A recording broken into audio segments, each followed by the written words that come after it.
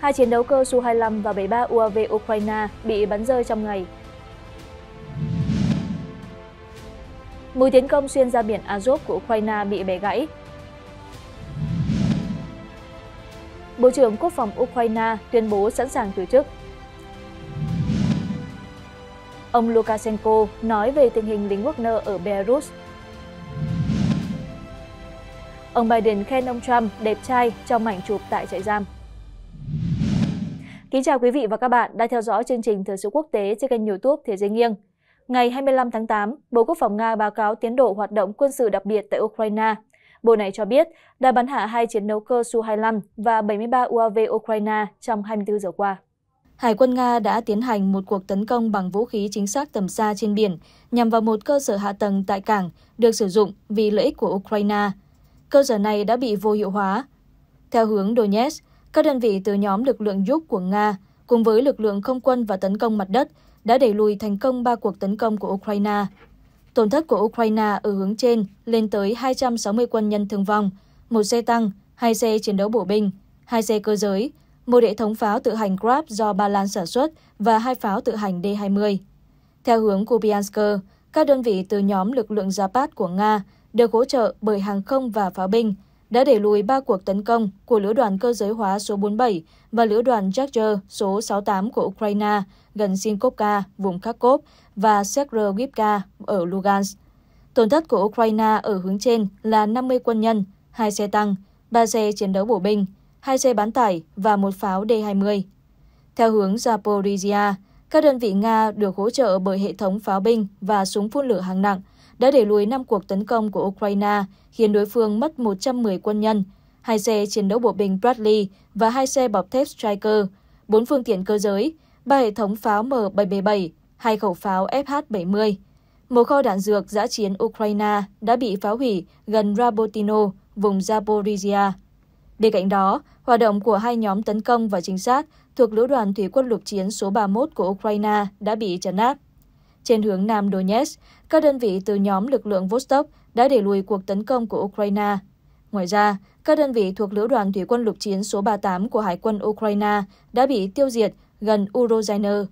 Thiệt hại của Ukraine ở hướng trên là 125 quân nhân Ukraine, ba phương tiện cơ giới, một hệ thống pháo tự hành Grab do Ba Lan sản xuất, hai hệ thống pháo M777 do Mỹ sản xuất, hai hệ thống pháo MSW và một pháo tự hành D-20, một pháo tự hành Vostika, trạm radar phản pháo ANTPQ-36. Theo hướng Krasny Liman, các đơn vị từ tập đoàn lực lượng Central của Nga đã đẩy lùi cuộc tấn công của quân nhân lữ đoàn cơ giới số 42 của Ukraine đã bị đẩy lùi ở Lugansk. Bên cạnh đó, các đơn vị thuộc lữ đoàn cơ giới số 63, 67 của Ukraine và lữ đoàn số 5 của vệ binh quốc gia Ukraine đã bị loại bỏ ở Donetsk và Lugansk. Tổn thất của Ukraine ở hướng trên lên tới 80 quân nhân Ukraine, 4 xe chiến đấu bọc thép và 2 xe bán tải. Theo hướng Kherson, tổn thất của Ukraine là 50 quân nhân, 3 phương tiện cơ giới, một hệ thống pháo M777, pháo MSW và D-30. Các lực lượng Nga đã vô hiệu hóa nhân lực và khí tài quân sự của Ukraine ở 147 khu vực. Máy bay chiến đấu của lực lượng hàng không vũ trụ Nga đã bắn rơi một máy bay Su-25 ở Donetsk.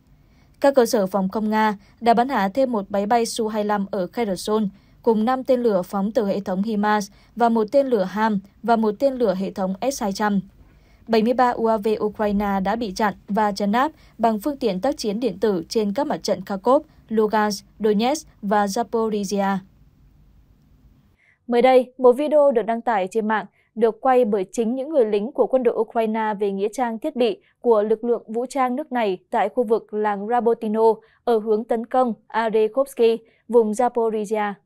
Được biết, đoạn phim cho thấy đoàn xe bọc thép đầu tiên của lữ đoàn cơ giới độc lập số 47 của quân đội Ukraine. Đơn vị đã bị lực lượng Nga gây tổn thất nặng nề vào hồi tháng 6 vừa qua. Ở phần đầu của video có thể thấy những chiếc xe giả phá mìn Leopard 2R do Phần Lan cung cấp bị phá hủy. Xa hơn là những chiếc T-72 của Ukraine với các dấu hiệu chiến thuật mới xuất hiện ngay trước khi bắt đầu cuộc tấn công Dấu hiệu tương tự lần đầu tiên được phát hiện trên các thiết bị quân sự Ukraine vào mùa xuân năm 2023. Được biết, chính tại khu vực Arekhovsky của mặt trận Zaporizhia, các đơn vị của Ukraine dự kiến sẽ hình thành một mũi kiếm sắc nhọn xuyên thủng hàng phòng ngự của lực lượng vũ trang Nga để tiến tới biển Azov.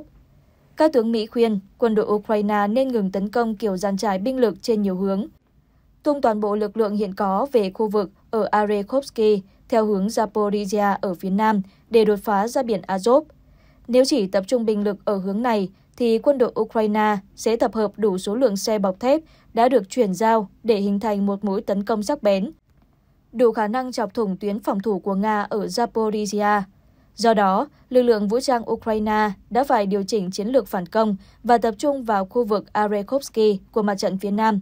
Tuy nhiên, đội hình tinh nhuệ của quân đội Ukraine được trang bị thiết bị quân sự của phương Tây đã bị các đơn vị phòng thủ của Nga đánh bại. Xe tăng Leopard của Đức và xe chiến đấu bộ binh Bradley của Mỹ đã không đáp ứng được kỳ vọng của Kiev và phương Tây. Vừa qua, lực lượng vũ trang Ukraine cũng đã mất chiếc Berge Panzer 3 Buffen ARV duy nhất được Canada chuyển đến Ukraine cũng trong khu vực này.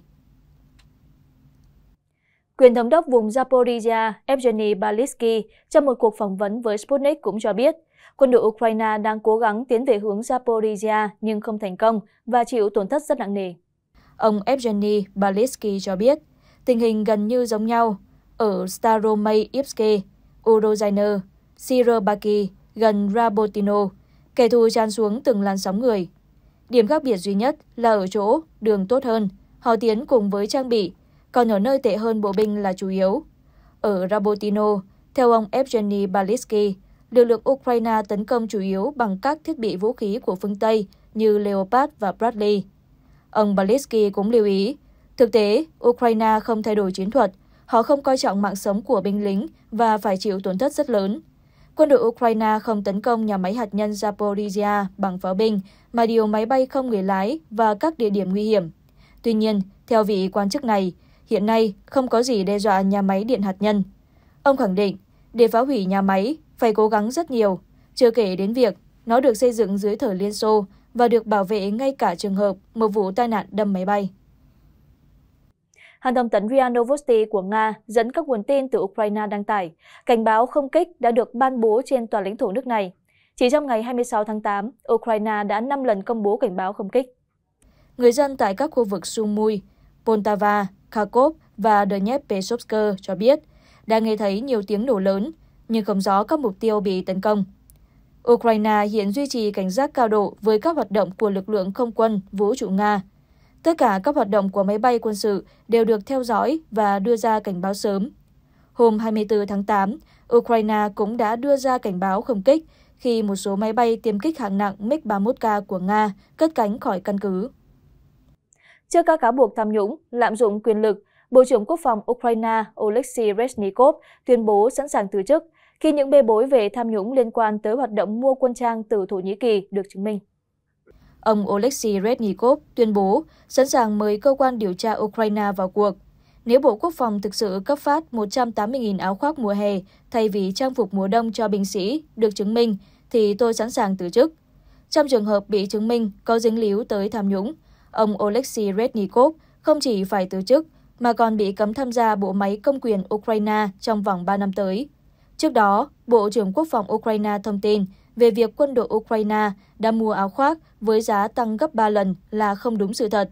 Theo lãnh đạo Bộ Quốc phòng Ukraine, cấp dưới của ông đã nộp tất cả các tài liệu cần thiết đến cuộc họp của Ủy ban Quốc hội đơn viện của Ukraine, bao gồm hóa đơn, giấy tờ nhập khẩu và chuyển tiền. Sau vụ rơi máy bay của ông trùm Wagner Prigozhin, Tổng thống Alexander Lukashenko cho biết chiến binh Wagner sẽ không rời Belarus, họ sẽ tiếp tục sống và làm việc tại đất nước này. Ông Lukashenko cho biết, ông và người sáng lập Wagner đã xây dựng một hệ thống vị trí của Wagner tại Belarus. Theo ông, lực lượng nòng cốt của Wagner vẫn ở Belarus, chỉ trong vài ngày có thể huy động được 10.000 người. Họ sẽ làm việc với Belarus bất cứ khi nào Belarus cần. Tuy nhiên, ông cũng lưu ý rằng không cần giữ tất cả lính Wagner ở Belarus. Vào tháng 8, ông Lukashenko cho biết chiến binh Wagner ở Belarus đang chuyển giao miễn phí kinh nghiệm của họ cho quân đội và các lực lượng đặc biệt nước này. Hồi tháng 7, họ đóng vai trò là người hướng dẫn các lớp học của các đơn vị bảo vệ lãnh thổ Belarus gần thành phố Asipovichi, vùng Mogilev. Thứ trưởng Ngoại giao Nga Sergei Ryabkov cho biết, các nước BRICS sẽ tiếp tục tham vấn về việc tạo ra các công cụ thanh toán độc lập với phương Tây. ngày 25 tháng 8, ông Ryabkov đã phát biểu trong cuộc họp báo sau hội nghị thượng đỉnh BRICS ở Johannesburg, Nam Phi. Ông cho biết, các cuộc tham vấn đang tiếp tục nhằm tạo ra các công cụ thanh toán hiệu quả trong khuôn khổ BRICS, độc lập với phương Tây, cũng như một nền tảng an toàn cho các khu định cư xuyên biên giới đa phương. Theo ông Ryabkov, nếu một quốc gia phương Tây nào đó thấy BRICS hấp dẫn, quyết định dừng chính sách trừng phạt bất kỳ thành viên nào của nhóm này và nộp đơn đăng ký tham gia, họ sẽ được xem xét. Ngoài ra, ông Sergei Ryabkov cho biết, ngân hàng phát triển mới của BRICS không từ chối tài trợ cho các dự án của Nga vốn gặp khó khăn do các chính sách của phương Tây. Theo đó, Nga tiếp tục dỡ bỏ những trở ngại cần phải vượt qua để tương tác với ngân hàng BRICS. Tổng thống Mỹ Joe Biden đã nhận xét ông Donald Trump, đối thủ hàng đầu của mình trong cuộc bầu cử năm 2024, là anh chàng đẹp trai trong bức ảnh chân dung ông Trump chụp tại trại giam hạt Fulton, bang Georgia. Tờ Hill dẫn lời ông Biden nói với phóng viên khi được hỏi về bức ảnh. Tôi có nhìn thấy bức ảnh trên TV, quả là một anh chàng đẹp trai. Ông Biden nói với các phóng viên rằng mình không quan tâm hay có ý định xem cuộc phỏng vấn gần đây của ông Trump. Đầu tuần này, ông Trump đã trả lời phỏng vấn cựu MC của Fox, ông Tucker Carlson. Buổi phỏng vấn được phát sóng cùng lúc với cuộc tranh luận sơ bộ đầu tiên của Đảng Cộng Hòa. Tổng thống Biden cũng chỉ trích cuộc tranh luận của Đảng Cộng Hòa, cho rằng các ứng viên không đi vào vấn đề mà chỉ là tranh cãi xuông. Ông cũng chất vấn các đối thủ rằng họ sẽ làm gì để thúc đẩy tăng trưởng kinh tế, họ sẽ có ý tưởng gì để duy trì mức tăng trưởng việc làm mà chúng ta đang có hiện nay – họ sẽ làm gì để giải quyết vấn đề giáo dục. Theo tin Kyodo, ngày 25 tháng 8, tại một phiên họp của Hội đồng Bảo an Liên Hợp Quốc ở New York, Mỹ, Triều Tiên đã bảo vệ vụ phóng tên lửa mang vệ tinh vừa qua, khẳng định nước này đã thực thi quyền chủ quyền và không gây tổn hại an ninh của các nước láng giềng. Đại sứ Triều Tiên tại Hội đồng Bảo an Liên Hợp Quốc Kim Song nhấn mạnh, vụ phóng trên là một hoạt động thực hiện quyền tự vệ chính đáng. Cuộc họp khẩn của Hội đồng Bảo an được triệu tập theo yêu cầu của Mỹ nước giữ chức chủ tịch luân phiên của cơ quan này trong tháng 8, cùng 6 quốc gia khác, trong đó có Nhật Bản. Trước đó, ngày 24 tháng 8, hãng thông tấn Trung ương Triều Tiên KCNA đưa tin, Triều Tiên đã phóng vệ tinh do thám Mali Yong-1 được gắn trên loại tên lửa có tên là Cholima-1. Nhưng vụ phóng thất bại do xảy ra lỗi trong hệ thống kích nổ khẩn cấp. Triều Tiên khẳng định sẽ một lần nữa đặt mục tiêu đưa vệ tinh vào quỹ đạo trong tháng 10 tới. Quân đội Somali và lực lượng đồng minh hôm 25 tháng 8 đã chiếm được thị trấn Enbu, thành trì chính của phiến quân Al-Shabaab ở khu vực miền trung đất nước. Thắng lợi này là một bước đột phá quan trọng trong chiến dịch của chính phủ Somali chống lại nhóm phiến quân có liên kết với tổ chức khủng bố Al-Qaeda. Việc chiếm được thị trấn Enbu ở bang Gamadam là một trong những chiến thắng lớn nhất trong cuộc tấn công do chính phủ Somali và lực lượng đồng minh phát động cách đây một năm – Chiến dịch này đã đẩy Al-Shabaab ra khỏi vùng lãnh thổ rộng lớn ở trung tâm đất nước, mặc dù nhóm này vẫn tiếp tục thực hiện các cuộc tấn công lớn, hay việc nhiều nhà phân tích và thậm chí một số người tham gia cuộc tấn công cho rằng cam kết sẽ loại bỏ nhóm này của chính phủ Somali là không thực tế. Phiến quân Al-Shabaab đã tiến hành các cuộc tấn công từ Enbu trên khắp khu vực trong 16 năm. Chính phủ Somali cũng đã đưa ra cam kết về giai đoạn thứ hai của cuộc tấn công nhằm vào Al-Shabaab ở miền nam Somali – trung tâm truyền thống của nhóm này, song chưa cho biết thời điểm bắt đầu hành động. Vừa rồi là những thông tin mới nhất về tình hình thế giới mà chúng tôi muốn gửi đến quý vị trong buổi tối ngày hôm nay. Cảm ơn quý vị đã theo dõi kênh youtube Thế giới nghiêng. Xin kính chào và hẹn gặp lại.